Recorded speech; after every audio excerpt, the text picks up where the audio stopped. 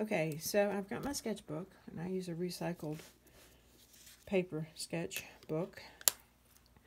Watercolor paper is 22 by 30. When I paint, I take off 2 inches so that it's 20 by 30, and that's a true rectangle. So it is 2 by 3. If I cut the paper in two, it becomes 15 by 22. If I cut that in two, it's 11 by 15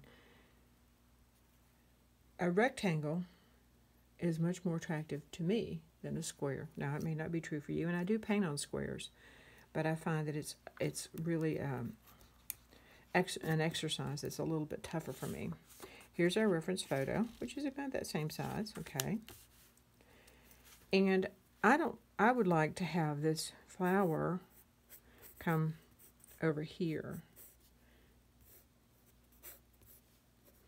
and I'm just doing a quick little sketch of it. And the reason I like it to be here is because I could I could move it over. I could I could say, well, I need to go. That's a little too close to the wall. So if that's the case, then what if I move my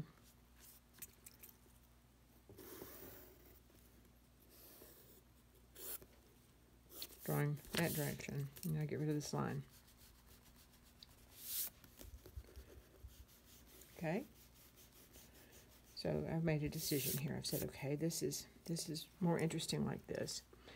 And in this photograph, this touches that line, and I don't like that. So I'm going to put this here to go behind my flower because I, I like that better. Here's um, this, but it goes down, and I want it. I want there to be some more movement there. So I'm going to do that. Take it out.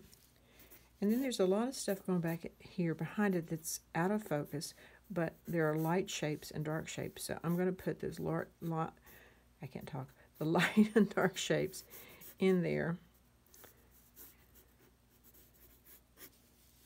And there's another thing here.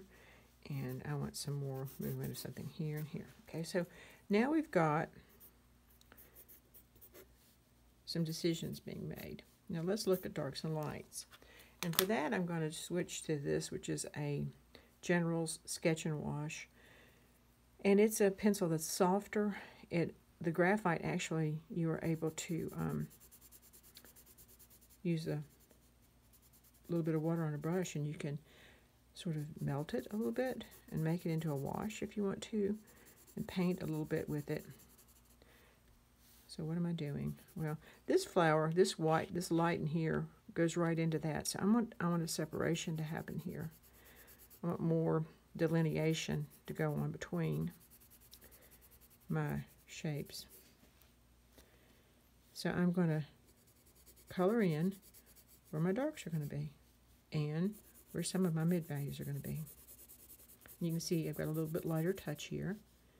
And that's just to allow me to see what patterns I'm going to try to have in my painting. And I am standing up when I do this. Um, I stand up when I paint. Get myself a little bit further from the subject that I'm working on. This is going to have to be, I really want this part here to stand out. And there's some pretty stuff back here going on that I want to stand out. But I don't want it to be, I don't want to take your eye off the page with white. So I'm going to color that in. Okay. So you can see that this can get really involved if you want to, or you can be as uninvolved as you want to, and just make marks that are basically going to become your recipe for how how your subject is going to show up. So there's lights and then there's darks. And there's some darks down here that I want to make sure happen. And it's a it is going to be this is let's see this be dark. I'm to let this, even though it's dark in the photograph, I think I'm going to let it be light lighter and that goes behind this um, flower right there. And then down here, there's a lot of different things going on. And I do kind of like the pinks, but they're darker. They're darker there. Even though you can see pink, there is some darker going on there. So now I've moved everything this direction. And I've got some, I've got some dark sunlights established. So let's stop it here. You get that done and we'll go to the next step.